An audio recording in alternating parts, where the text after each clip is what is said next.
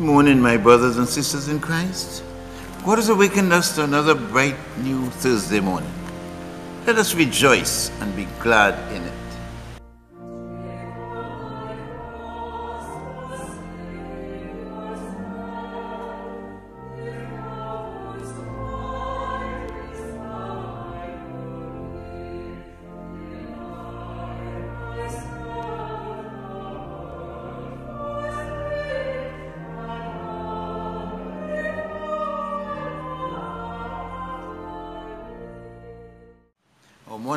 Begins on page 33 of our books of common prayer and continues on page 35 and following.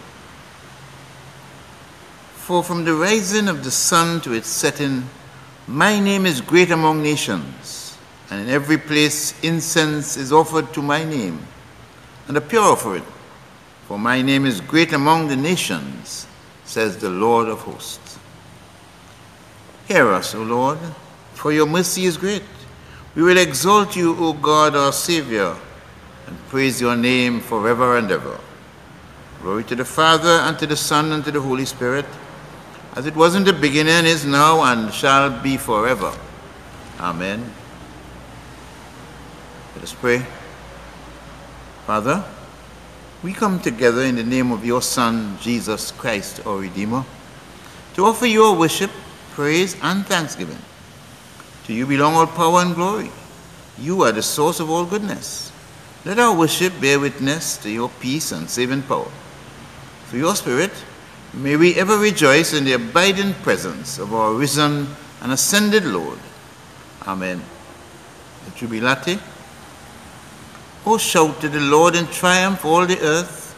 Serve the Lord with gladness and come before his face with songs of joy. Know that the Lord, he is God. It is He who has made us, and we are His. We are His people and the sheep of His pasture. Come into His gates with thanksgiving, and into His courts with praise. Give thanks to Him, and bless His holy name. For the Lord is good. His love and mercy is forever. His faithfulness throughout all generations. Glory to the Father, and to the Son, and to the Holy Spirit, as it was in the beginning, is now, and shall be forever. Amen. Now we come to this moment when we have this opportunity to make ourselves right with God. Let us bring to mind this morning before God those things of which our consciences are afraid. Things we did we ought not to have done, and the things we didn't do that God desired us to do, even the thoughts that were unworthy of our God. Let us therefore at this time confess our sins. Have mercy upon us, most merciful Father.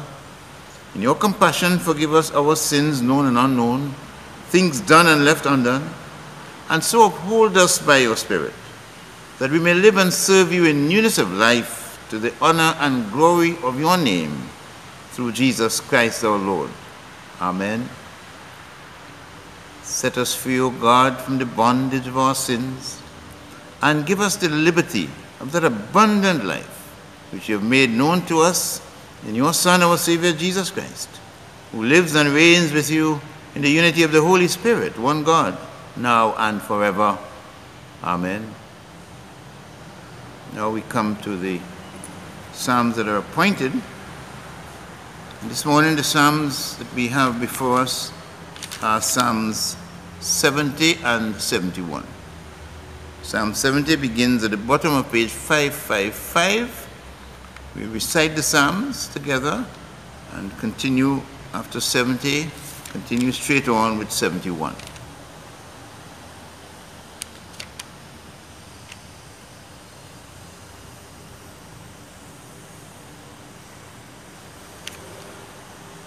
Be pleased, O God, to deliver me. O Lord, make haste to help me. Let those who seek my life be ashamed and altogether dismayed. Let those who take pleasure in my misfortune draw back and be disgraced. Let those who say to me, Aha, and gloat over me turn back because they are ashamed. Let all who seek you rejoice and be glad in you. Let those who love your salvation say forever, Great is the Lord. But as for me, I am poor and needy. Come to me speedily, O God. You are my helper and my deliverer. O Lord, do not tarry. Psalm 71. In you, O Lord, have I taken refuge. Let me never be ashamed. In your righteousness, deliver me and set me free. Incline your ear to me and save me. Be my strong rock and a castle to keep me safe. You are my crag and my stronghold. Deliver me, my God, from the hand of the wicked, from the clutches of the evildoer and the oppressor. For you are my hope, O Lord God, my confidence since I was young. I have been sustained by you ever since I was born. From my mother's womb you have been my strength. My praise shall be always of you. I have become a portent to many, but you are my refuge and my strength. Let my mouth be full of your praise and your glory all the day long. Do not cast me off in my old age. Forsake me not when my strength fails. For my enemies are talking against me, and those who lie in wait for my life take counsel together. They say, God has forsaken him. Go after him and seize him, because there is none who will save. O God, be not far from me. Come quickly to help me, O my God. Let those who set themselves against me be put to shame and be disgraced. Let those who seek to do me evil be covered with scorn and reproach. But I shall always wait in patience and shall praise you more and more. My mouth shall recount your mighty acts and saving deeds all day long, though I cannot know the number of them. I will begin with the mighty works of the Lord God. I will recall your righteousness, yours alone. O God, you have taught me since I was young, and to this day I tell of your wonderful works. And now that I am old and gray headed, O God, do not forsake me, till I make known your strength to this generation and your power to all who are to come. Your righteousness, O God, reaches to the heavens You've done great things. Who is like you, O God? You've showed me great troubles and adversities. But you will restore my life and bring me up again from the deep places of the earth. You strengthen me more and more. You enfold and comfort me. Therefore, I will praise you upon the lyre for your faithfulness, O my God. I will sing to you with the harp, O Holy One of Israel. My lips will sing with joy when I pray to you, and so will my soul, which you have redeemed. My tongue will proclaim your righteousness all day long, for they are ashamed and disgraced who sought to do me harm. Glory to the Father, and to the Son, and to the Holy Spirit, as it was in the beginning, is now, and shall be forever. Amen. Now we will come to our first reading. And our first reading is taken from the book of the prophet Isaiah. Isaiah 55, and we are reading verses 1 to 13. Isaiah 55, verses 1 to 13. Ho, everyone who thirsts, come to the waters, and you that have no money, come, buy and eat. Come, buy wine and milk without money and without price? Why do you spend your money for that which is not bread, and your labor for that which does not satisfy? Listen carefully to me and eat what is good, and delight yourselves in rich food. Incline your ear and come to me. Listen so that you may live. I will make with you an everlasting covenant my steadfast, sure love for David. See, I made him a witness to the peoples, a leader and commander for the peoples. See, you shall call nations that you do not know, and nations that do not know you shall, shall run to you, because of the Lord your God, the Holy One of Israel, for he has glorified you. Seek the Lord where he may be found Call upon him while he is near. Let the wicked forsake their ways, and the unrighteous their thoughts. Let them return to the Lord, that he may have mercy on them, and to our God, for he will abundantly pardon. For my thoughts are not your thoughts, nor are your ways my ways, says the Lord. For as the heavens are higher than the earth, so are my ways higher than your ways, and my thoughts than your thoughts. For as the rain and the snow come down from heaven, and do not return there until they have watered the earth, making it bring forth and sprout, giving seed to the sower and bread to the eater, so shall my word be that goes out from my mouth. It shall not return to me empty, but it shall accomplish that which I purpose and succeed in the thing for which I sent it. For you shall go out in joy and be led back in peace. The mountains and the hills before you shall burst into song, and all the trees of the field shall clap their hands. Instead of the thorn shall come up the cypress. Instead of the brier shall come up the myrtle. And it shall be to the Lord for a memorial, for an everlasting sign that shall not be cut off. This is the word of the Lord. Thanks be to God. Now we will recite together the canticle, the Benedictus, on page 40. Blessed are you, Lord, the God of Israel. You've come to your people and set them free. You've raised up for us a mighty Savior, born of the house of your servant David. Through your holy prophets, you promised of old to save us from our enemies, from the hands of all that hate us, to show mercy to our forebears, and to remember your holy covenant. This was the oath you swore to our father Abraham to set us free from the hands of our enemies, free to worship you without fear, holy and righteous before you all the days of our life. And you, child, shall be called the prophet of the Most High, for you will go before the Lord to prepare the way, to give God's people knowledge of salvation by the forgiveness of their sins. In the tender compassion of our God, the dawn from on high shall break upon us to shine upon those who dwell in darkness and the shadow of death, and to guide our feet into the way of peace. Glory to the Father, and to the Son, and to the Holy Spirit, as it was in the beginning, is now, and shall be forever. Amen. We come now to our second reading, and our second reading comes from the Gospel of Mark. The Gospel of Mark, we're reading from Mark chapter 8 from verse 27 to chapter 9 verse 1. Mark 8 27 to 9 1. Jesus went on with his disciples to the villages of Caesarea Philippi, and on the way he asked his disciples, Who do people say that I am?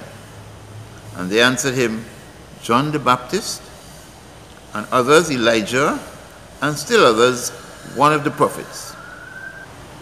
He asked them, But who do you say that I am? Peter answered, You are the Messiah. And he sternly ordered them not to tell anyone about him. Then he began to teach them that the Son of Man must undergo great suffering and be rejected by the elders the chief priests and the scribes, and be killed, and after three days rise again. He said all this quite openly. And Peter took him aside and began to rebuke him. But turning and looking at his disciples, he rebuked Peter and said, Get behind me, Satan, for you are setting your mind not on divine things, but on human things. He called the crowd with his disciples and said to them, if any want to become my followers, let them deny themselves and take up their cross and follow me. For those who want to save their life will lose it. And those who lose their life for my sake and for the sake of the gospel will save it.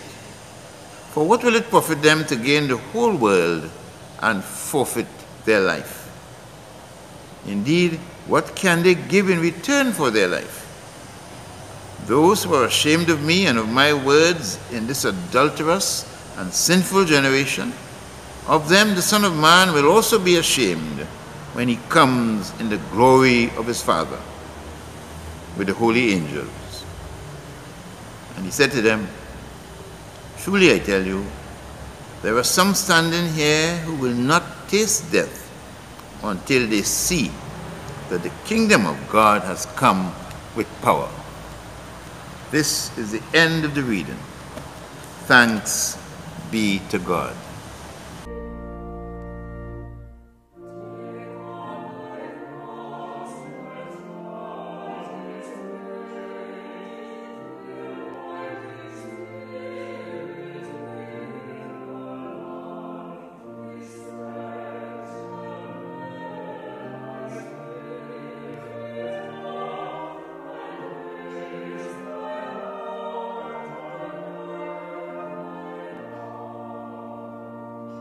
So we take a moment here to reflect briefly on this reading, pray for God's divine inspiration and guidance. Here, I'd like to, to focus on this question that Jesus asked his disciples, and the answer that Peter gave. Who do people say that I am? And the disciples went on to tell him what the people were hearing. And they were thinking of John the Baptist and maybe Elijah or one of the prophets. So they were thinking of Jesus as, let's say, a prophet.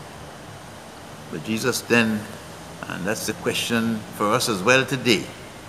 Who do you say? And that use that you they tell us in the Greek is the emphatic you. Who do you say that I am? A question for each of us to reflect on and to answer very, very seriously. Peter, of course, had been with Jesus and had been, you know, pleased to, to, um, to be present at all those works of, those marvelous works of power that Jesus was able to do. You know, healing the sick, casting out demons, you know, uh, commanding the elements, the waves, the winds, you know, showing his power over all things. And so Peter had some insight. And you know, presumably he was talking for all his disciples, all his brothers, uh, disciples, when he said to Jesus that you are the Messiah. Now, the Jewish scriptures had, had you know, spoken of the one that God will send to a, a, a descendant of David, you know, who will come to rule, who will come as king, you know, to um, defend the Jews against all their enemies, to cleanse the temple and, and restore that kind of relationship between God and his people. And of course, in Isaiah, we read a lot about this person um, not only a king, a Davidic king, you know, descended from David that is, who would have that power over their enemies, but also one who would, as I just said, cleanse the temple and re-establish that proper relationship with God. He would be all of that. Of course, in Jesus' time, most people were thinking of that person as, you know, more in terms of a powerful, earthly kind of king, you know, more concerned with their liberation from the, you know, the oppression of foreign powers, and in Jesus' time, the Romans in particular. But of course, Isaiah had spoken about this, this one that was to come in terms which suggested that he would be more of a suffering servant. You know, but it was that idea, you know, in their minds at Jesus' time, more of that conquering type of, of, of of Messiah. Messiah, of course, means anointed. God's very anointed. And in some senses, Jesus didn't fit for the masses and for many in the religious establishment and so on, didn't fit that idea of a suffering servant. Not that kind of Messiah, not one who would be more concerned about their relationship with God and restoring that, restoring that the people into that right relationship with their God, establishing God's kingdom, which is what Jesus proclaimed as he came to, to, to begin his ministry on earth. So when Peter said, You are the Messiah, the anointed one, the Christ, they all mean the same thing, anointed by God. Yes, he had in mind that Messiah of the Scripture. But we, we, Peter didn't really um, elaborate, but later on, when Jesus begins to talk about, you know, what he would, he would have to die and all that, well, Peter clearly his idea of the Messiah was the one more the conquering hero who would liberate God's people from the domination of foreign powers. This idea of a suffering Messiah, Peter didn't quite have it. But nevertheless, he did have some insight that Jesus indeed was the anointed one. At least that far. So Jesus saw the need really to explain to Peter. We, we said he called when Peter tried to rebuke him. What kind? What are you talking about? That's not the, my concept of Messiah. In effect, this is what Peter was saying. Jesus, you know, had to rebuke him and say, "You, you, you. This is Satan talking. You know, God inspired you, yes, to say that I am the Messiah, His anointed one, but now you're going off in the wrong direction. You're forgetting the scriptures and what they said about a suffering Messiah and how you would redeem His people." from sin and restore them into God's, into that right relationship with God. So you are talking, you have to get behind me because you're talking, you're not thinking of divine things. You're thinking of human things. Jesus found it necessary as well to call the crowd together and, and I still have that question in mind. Who do you say that I am? And that question is for us today as well, as I said. And here is what Jesus is speaking to the crowd and teaching them about what it really means to be a follower of this Messiah. This Messiah, what it really means.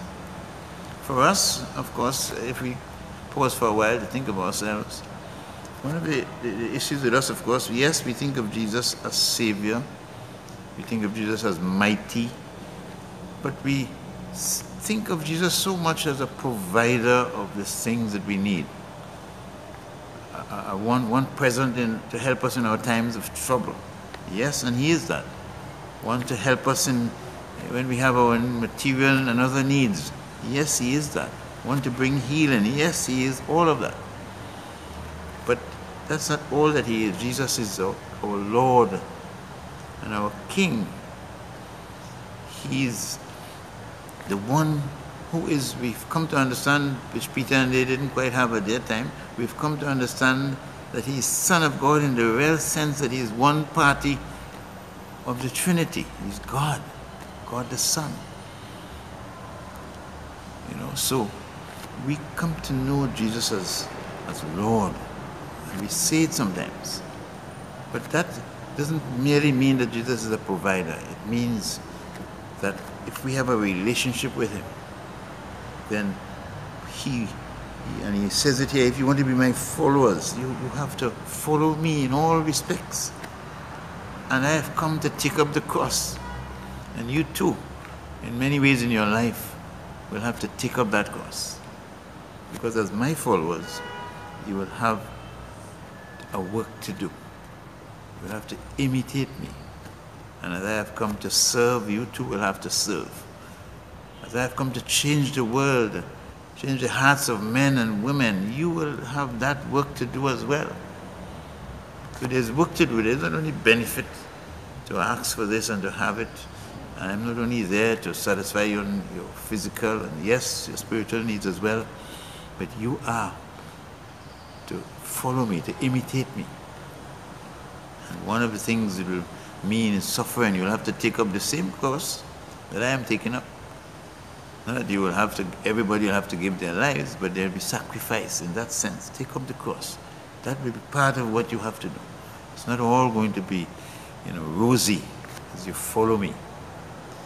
there's going to be, you'll have to be prepared to give up. Especially give up those, the things of the world, where they clash with what is required to be my disciples. You'll have to stand for truth, for truth. You know, in the face of whatever will face you. You'll have to stand for justice. You know, oppose injustice wherever you see it. You'll have to be people of integrity. In the midst of this corrupt generation, as Paul would say, you will have to stand out as people of integrity and honesty because you have to be my people.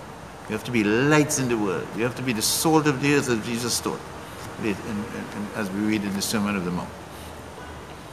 So there is, there is a part of your relationship with me, there's a part of your understanding of who I am that involves reflecting me and all that I have taught, reflecting my teaching in the world, being lights in the world, and helping to continue my work, which I will complete when I go back to heaven. You'll have to be the ones to continue my work. Indeed, we know that Jesus gave us that, that mission that commission to make disciples. This is the work we have to do. So our concept of Jesus as Lord is great, as King is great, as Messiah is great, but it's not all about what we can get, the benefits we can get. It's about the work that we are also called to do as his followers. And Jesus made it very clear. Yes, Peter, yes, Peter. Yes, you have to if you want to become my followers, you must deny yourself, take up your cross, and follow me. And in this world, do not let the things of the world be loom too large in your sight. Because there's, there's more, are more important things than the transient things of this world. So yes, who do, you, who do we say?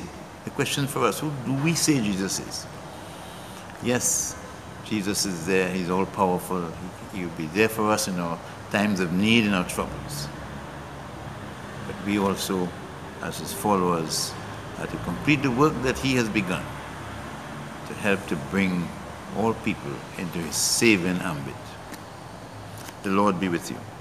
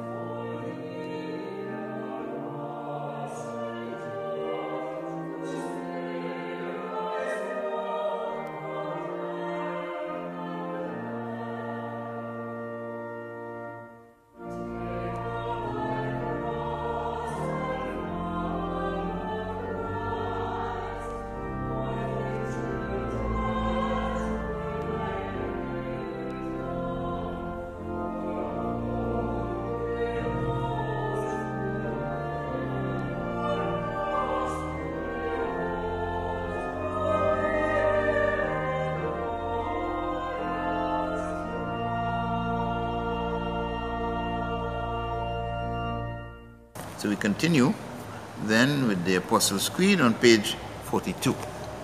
I believe in God the Father Almighty, creator of heaven and earth. I believe in Jesus Christ, his only Son, our Lord. He was conceived by the power of the Holy Spirit and born of the Virgin Mary. He suffered under Pontius Pilate, was crucified, died, and was buried.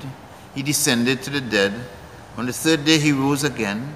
He ascended into heaven and is seated at the right hand of the Father he will come again to judge the living and the dead.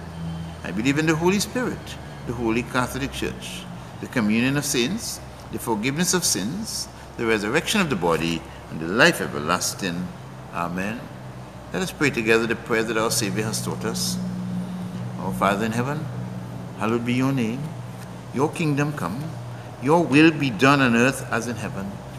Give us this day our daily bread Forgive us our sins as we forgive those who sin against us. Save us from the time of trial and deliver us from evil. For the kingdom, the power, and the glory are yours, now and forever. Amen. We continue with the collect for today, which is the collect for the fourth Sunday after the Epiphany on page 161 in our Books of Common Prayer. Let us pray. Almighty and everlasting God, you govern all things both in heaven and earth. Mercifully hear the supplications of your people, and in our time grant us your peace through Jesus Christ our Lord, who lives and reigns with you and the Holy Spirit, one God, forever and ever. Amen. And we continue in prayer as we pray for people all over the world and all the countries of the world, especially those places where people are suffering because of oppressive governments. And today we think of the people of Myanmar, where the army has taken over. We think of other countries as well, where people, uh, where there's oppression and repression.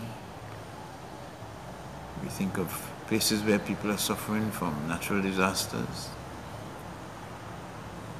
In all those places where people, where life for people is difficult and trying, and where there's great need.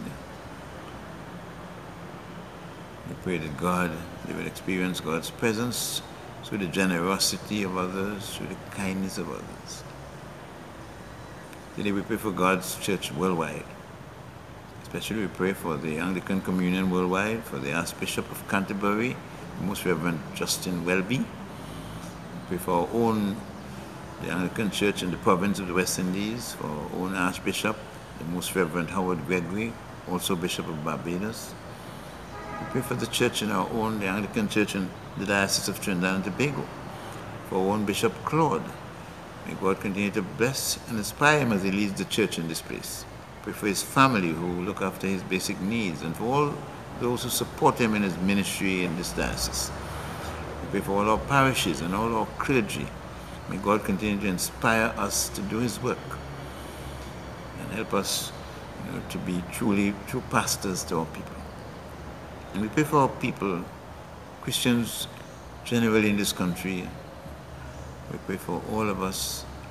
May we truly reflect Christ you know, around us. May people see Christ in us.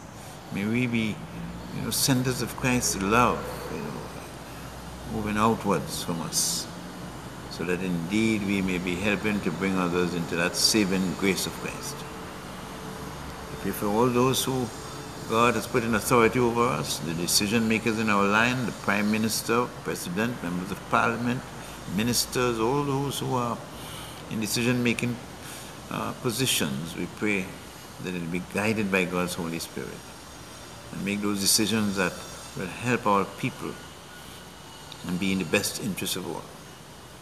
We pray for all those who are in need of any kind today, those who do not know where their next meal is coming from those who are abused, for families who have lost their loved ones. We particularly remember this family whose daughter has been abducted and today they do not know what is what has happened to her. We pray for them that they experience God's presence at this time.